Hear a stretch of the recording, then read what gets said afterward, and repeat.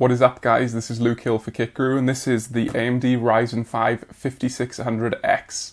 So this is AMD's most affordable Zen 3 CPU and it's priced currently at £280 or so in the UK and $299 MSRP, US dollars of course. Now we know this chip has technically been launched for a while. Availability, however, is still poor. We were hoping it would have picked up by now, but that does not seem to have been the case in the UK at least.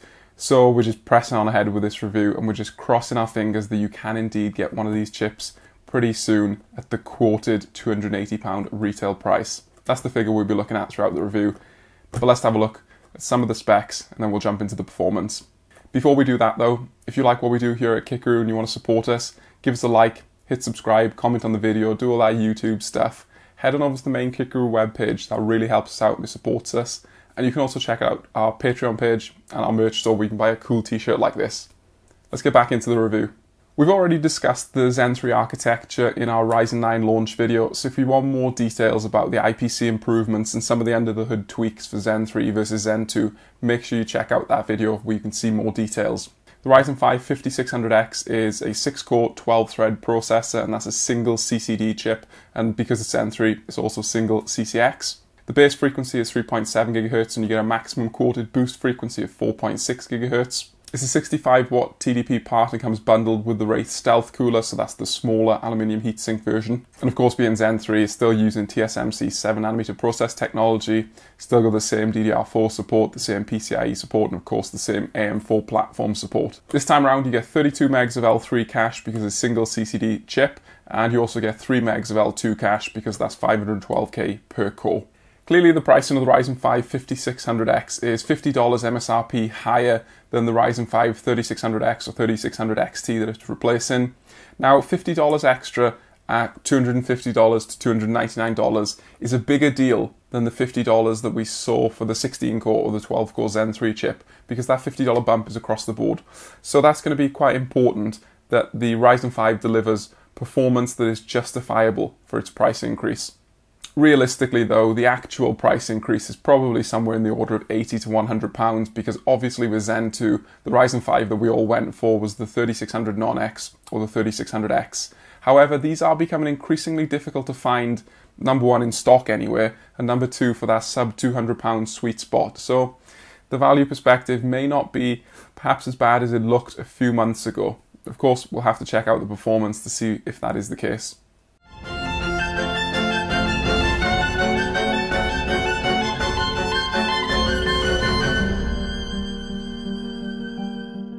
Given its price point of £280, the Ryzen 5 5600X actually occupies quite a neat position and a neat little window in the competition space. The 5600X is around £30 more expensive than the Core i5 10600K 6-core 12-thread competitor, and it has better low-cost motherboard support and a bundled cooler though, so that £30 might be justifiable for the AMD part. And then the Ryzen 7 3700X is around £20 more expensive than the 5600X, but it does offer additional cores, so 8 cores, however they are the older Zen 2 architecture. So that'll be an interesting comparison in both productivity and gaming. And then of course our other comparison will come from the Ryzen 5 3600 XT, which is about £230 in the UK.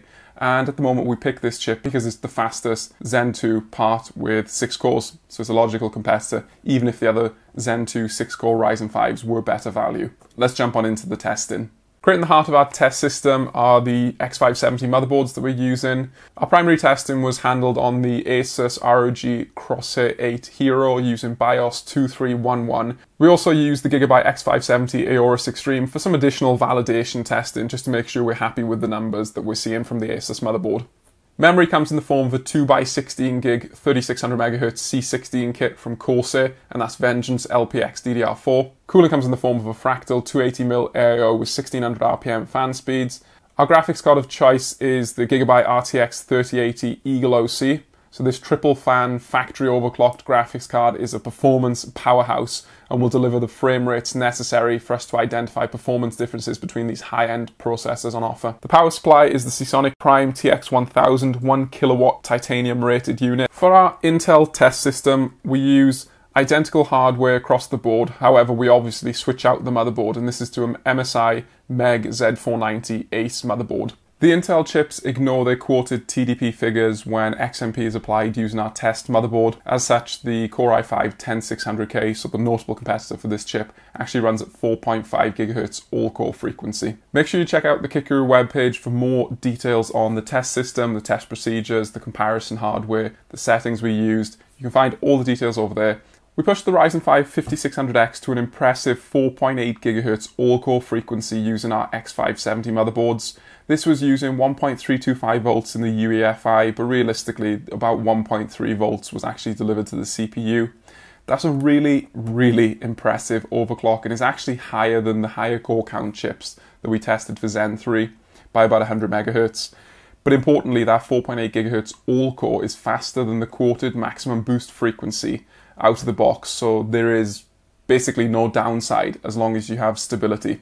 We also did some quick precision boost overdrive testing, and this was actually pretty decent given that the shackles are somewhat in the power department out of the box. So you get 76 watts of power budget out of the box in stock configuration. PBO removes that power limitation, and we saw the chip operating at 4.65 gigahertz single core and 4.65 gigahertz all core. So you do get a nice bump versus the stock configuration of about 100 to 150 megahertz. But given that we got 4.8 gigahertz all core, that's the testing we'll be focusing on. As a side note, it'll be interesting to see how Precision Boost Overdrive 2 and its undervolting behavior will influence the performance of the chip in upcoming BIOS versions. That'll be quite cool to see. Anyway, let's get on into the performance results. Cinebench NT sees the 5600X making a positive start. Performance is 27% quicker than the 10600K and 16% better than the considerably cheaper Ryzen 5 3600 XT. The 8-core 3700X does score higher though, with a 10% lead over the 5600X, but that gap narrows significantly with the Zen 3 parts at 4.8 GHz overclock. We see the 5600X hitting around 4.45 to 4.55 GHz all-core frequency in the demanding Cinebench and Blender NT workloads. This clock speed value holds up well using standard AIO cooling, but it is clearly thermal headroom spare for lower spec coolers. It is the power and current limits that cap the speed, so precision boost overdrive and manual overclocking clearly give the chip more room to push. Given the reduced maximum boost clocks, it comes as no surprise to see the 5600X scoring slightly below other Zen 3 chips. A performance result of 600 points is certainly a strong step up of 23% versus the 10600K, 13% versus the 3600 XT, and 18% versus the 3700X. These are big gains and our manual overclock to 4.8 GHz pushed the 5600X's lead even higher. We observed clock speed values as high as 4650 MHz when running the Cinebench 1T test, even if only for small periods of time. As with other Ryzen 5000 chips, this is above the quoted boost frequency and represents a solid result. The 5600X comfortably outperforms the cheaper Core i5 and Ryzen 5 parts in Blender, but the slightly more expensive Ryzen 7 3700X and its 8 Zen 2 cores are notably faster in this test. If you were looking at purchasing the 5600X for a budget multi-threaded Blender rig, the 8-core Zen 2 offering looks to be a more valuable solution at the price point. V-Ray sees the 5600X continuing to deliver strong performance leads over the cheaper Core i5 and Ryzen 5 chips. This time, the overclocked 5600X matches the stock clocked 3700X performance and is within touching distance of the 4.7 GHz 10700K. 7-zip compression is 32% faster on the Ryzen 5 5600X versus the Core i5 10600K.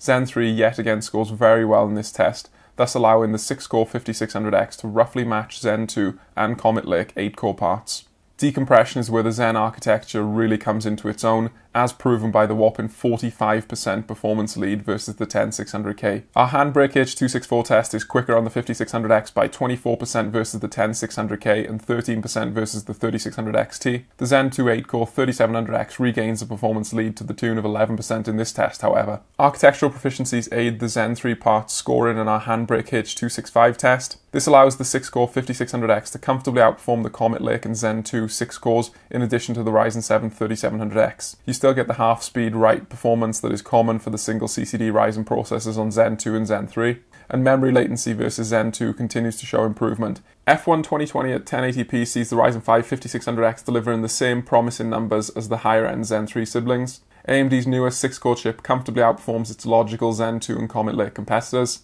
At 1440p, the performance is still strong, with AMD's Zen 3 6 core basically matching the chart toppers when accounting for error and variance margins. The Core i5 does score a little better at 1440p though. Zen 3 works superbly with GTA 5 and this trend continues with the 5600X despite its relative core count deficit versus Ryzen 7 and Ryzen 9 chips. Intel's Comet Lake and AMD's Zen 2 competitors are no match for the 5600X here. This is a strong victory for the new Ryzen 5. At 1440p, the same performance trend holds true. The Comet Lake and Zen 3 big boys are faster, but the 5600X comfortably beats its logical price point competitors such as the 10600K and 3700X. Metro Exodus once again has the 5600X beaten its relevant competition, though its lead versus the 10600K is slim when both CPUs are at stock. 1440p performance shows preference for the Intel 10600K by a minor margin, and the performance boost for the 5600X versus Zen 2 is indistinguishable with this level of GPU demand. Red Dead Redemption 2 using our test setup continues to show strong preference for Intel Comet Lake chips. Here, the Core i5 10600K beats the Ryzen 5 5600X by a measurable and somewhat useful margin. AMD's 6-core 5600X does, however, keep pace with the other Zen 3 parts and slightly outperforms the Zen 2 offerings. At 1440p, we see more of the same Intel preference, and this time the performance uplift from Zen 2 to Zen 3 is compressed heavily, except for the low FPS numbers on the 3600 XT. Shadow of the Tomb Raider performs well on Zen 3 and has the 6-core 5600X smash in the performance numbers of its Zen 2 and 10600K competitors. AMD's cheapest Zen 3 offering is actually competitive versus the 10700K here. At 1440p, we see the same performance trend with the Ryzen 5 5600X being much faster than the 10600K 3600 XT, and 3700X. The Division 2 sees Ryzen 5 5600X once again outperforming the 10600K, 3700X, and 3600XT. Intel's Core i5 provides the toughest fight, but the Zen 3 6 core is simply faster outside of a 5GHz Intel overclock. Cranked up to 1440p, performance is similar across the board, so there are no inherent upsides or downsides to the Ryzen 5 5600X in this example. A simple summary of the game and results is that Ryzen 5 5600X is the best CPU you can buy at this price point unless the only game you play is Red Dead Redemption 2. Victories for the Zen 3 6-core chip are consistent and often sizable against the Intel Core i5 10600K, as well as the Zen 2 Ryzen 5 3600 XT and Ryzen 7 3700X. You can even trade blows versus the more expensive 8-core Ryzen 7 5800X and Core i7 10700K when running the 5600X. That means more money can be set aside to plow into a better GPU, so the 5600X looks like great value for gaming. Power consumption is absolutely superb from the 65 watt TDP Ryzen 5 5600X. 6 Zen 3 cores with a power budget of 76 watts makes for a very light energy requirement. The wall draw levels are more than 20 watts lower than the Ryzen 5 3600 XT and Core i5 10600K competitors when loaded at stock clocks. Overclocking increased the load power draw by a little over 30 watts, but this sub 180 watt wall reading is still easily tolerable, even with modest cooling and motherboard VRM hardware. The Ryzen 5 5600X actually does reasonably well in the Cinebench based performance per watt chart. Despite a 2 core deficit versus the 3700X, AMD's new Ryzen 5 actually manages to match its efficiency. Points per watt are far greater for the Zen 3 5600X versus its Core i5 10600K and Ryzen 5 3600 XT competitors. Despite the Zen 3 price increases, the 5600X does reasonably well for our Cinebench weighted performance per pound money chart.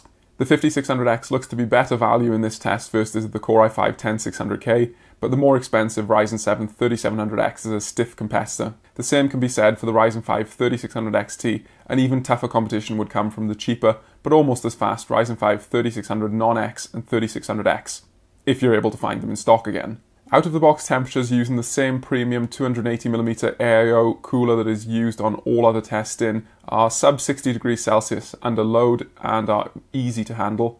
Even with cheaper coolers, we would have no worries about thermals for the Ryzen 5 5600X. That's especially true when running the stock Precision Boost or automatic Precision Boost overdrive settings that adjust frequency and voltage based on temperature readings. Overclocking pushes the chip close to 80 degrees Celsius with our unoptimized voltage setting. Again, this is no cause for concern with a premium all-in-one liquid cooler, but we'll start to get a little on the toasty side on small and budget air heat sinks. There we have it then. The Ryzen 5 5600X proves itself as a efficient, competitive, really worthwhile processor in both gaming and productivity tasks, and it doesn't break the bank. If we focus on some of the value comparisons, the 5600X versus the £250 Core i5 10600K that actually ships without a cooler and operates on a either less feature rich or slightly more expensive Intel platform. The AMD part is a no brainer in that scenario. It's faster across the board in productivity, it's more power efficient, and it's a better gaming chip. That's just a no brainer. Yes, it's slightly more expensive, but roughly the same price when you factor in the cooler, perhaps, depending on whether you go for an aftermarket cooler on both chips or not. But it is by far the better solution. Versus the Ryzen 5 3600 XT, which comes in at about £230 in the UK, we also feel that the 5600X at about £280 is a better buy than that chip.